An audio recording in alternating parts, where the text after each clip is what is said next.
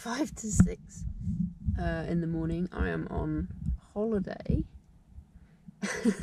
but my first ultra marathon is about 11 weeks away now, so uh, I obviously have to get the training in. Um, we are staying in the Yorkshire Dales, just north of the Howgill Fells. So I'm going to take the opportunity to do my long runs in the Howgill Fells. And uh, we'll be doing two two runs up there uh, and first one is today. Okay I'm gonna go drive to near the bottom of Cautley Spout and that's where we'll get started. All right we're here. Um, I've kind of given myself a generous time allocation of four hours to um, to get round because uh, there's quite a lot of elevation and this route today has a lot of navigating in it. Uh, I will be hopping across some fell tops and I think a lot of the fell tops here can look quite similar to one another so that might slow me down. But um, yeah I don't know how much of it is going to be realistically runnable so I might be hiking quite a bit of it but it's all time on my feet so cool. I better get going. And we're away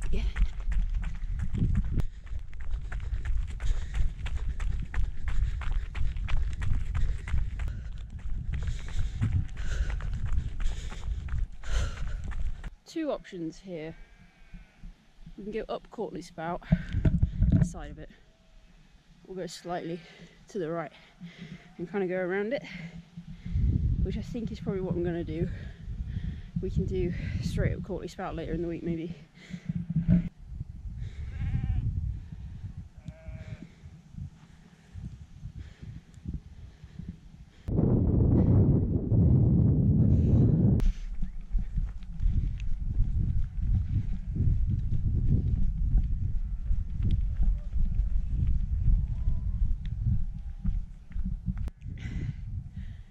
2.6 kilometres in.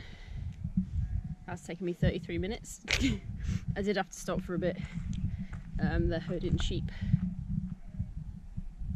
across the hill and I wasn't sure if I was in the way so um, I just kind of stopped and walked super slowly to try and let the sheepdogs do their thing so I didn't um, send the sheep in the wrong direction.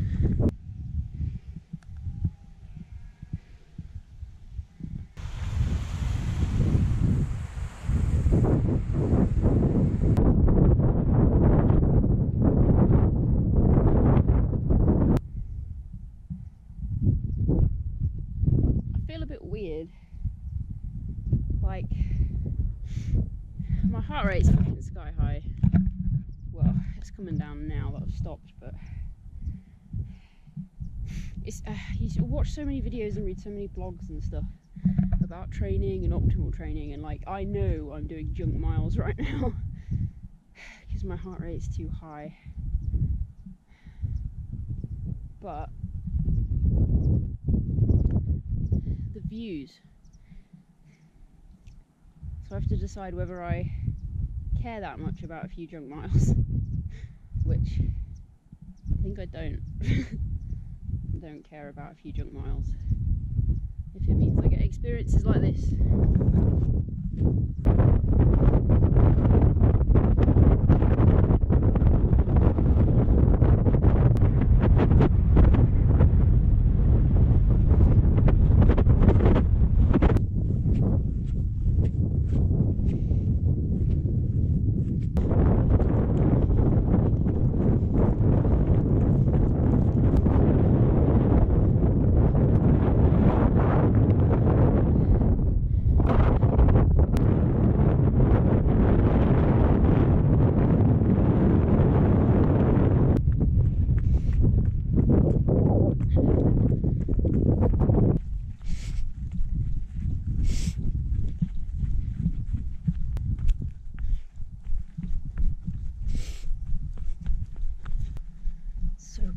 down here in the valley.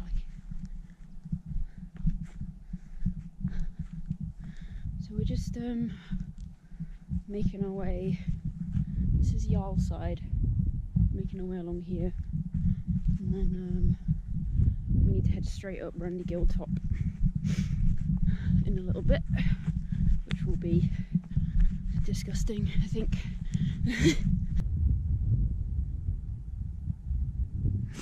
That's what I've let myself in for. Um, this is going to be very slow. Alright, let's get to it.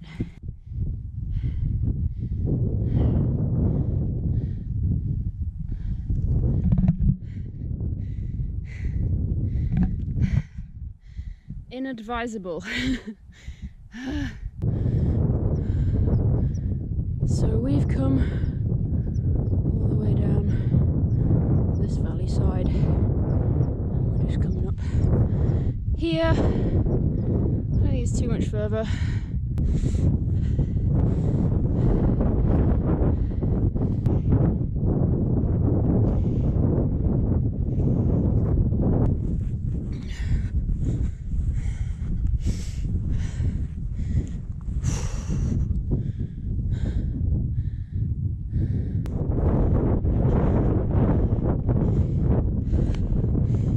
Alright, so we're heading to um can't remember what that hill's called. That one's the knot. That one's the knot something. I'll put it on the screen. That's the knot. That's Harter Fell, which we're gonna go up. And then we'll drop down off Harter Fell and head back to the car.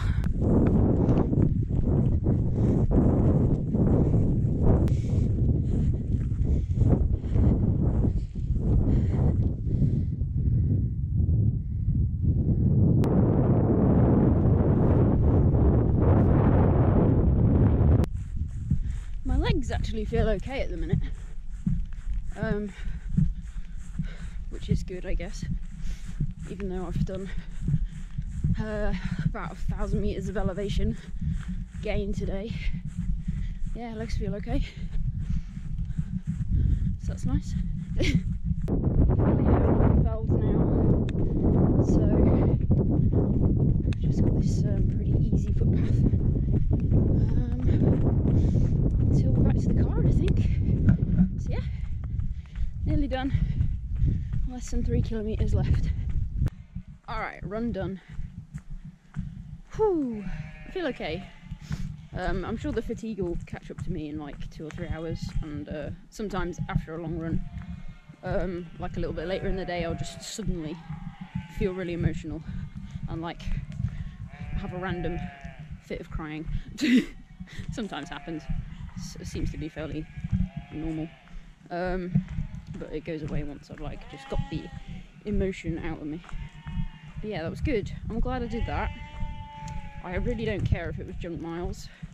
There was some just absolutely amazing scenery up there. And I just feel, right now, I just feel really, really good.